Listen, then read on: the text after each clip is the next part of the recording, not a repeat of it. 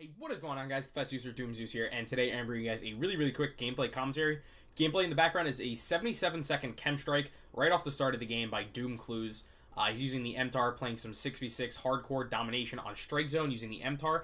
Absolutely insane gameplay.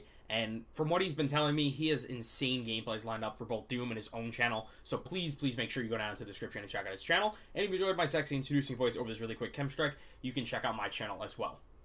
But what I want to talk to you guys about today is Call of Duty Advanced Warfare. I know, a topic you guys have probably not heard of a lot on YouTube.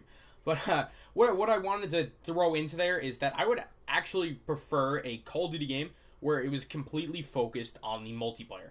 Because really, the trailer we got had, gives us no information about what this, what this game's going to be like. I mean, like, at all. Uh, basically, all we saw is that there's going to be some single player points and that Kevin fucking Spacey's going to be in it, which is pretty cool. Don't get me wrong. I think Kevin Spacey's a great actor. Uh, I'm a really big fan of the Netflix show uh, House of Cards. It's a fantastic show. He's a great actor. I expect the single player to be great, but I'm probably not going to play it. I mean, I might play it because Kevin Spacey's in it, uh, granted, but I would prefer a multiplayer focused Call of Duty. Like, instead of spending the gigantic budget they have on Snoop Dogg and Kevin Spacey, I would rather them fix all the issues that Call of Duty has. I mean, really, like, who's sitting there at Sledgehammer like, oh yeah, we need to fix the dedicated servers. How about we had Kevin Spacey instead? But that, that I just wanted to really rant about that, get it out of my system. That's all the time I have left. Remember to check out Clues' channel down in the description, and check out my channel as well. That's all the time I have left. Peace.